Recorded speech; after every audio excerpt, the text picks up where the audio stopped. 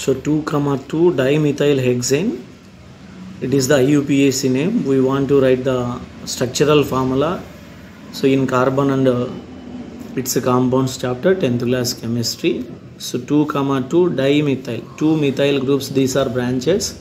It is a word root and this is ANE. Hex is the word root. It shows us six carbons and this is alkane. Alkane means between the carbon atoms all are single bonds and this is a branch.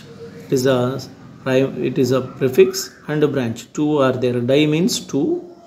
So two methyls. So one methyl is uh, two methyls are attached to second carbon and second carbon in the word root. So six carbons. One, two, three, four, five, six. So all are joined with a single bonds because uh, suffix is ane. So remaining bonds 4, 2, 2, 2, 2 because every carbon can form 4 single bonds. 4 single bonds. So to the second one, 2 methyls are. This is the second one. Here methyl formula is CH3 and CH3. Remaining are joined with hydrogens.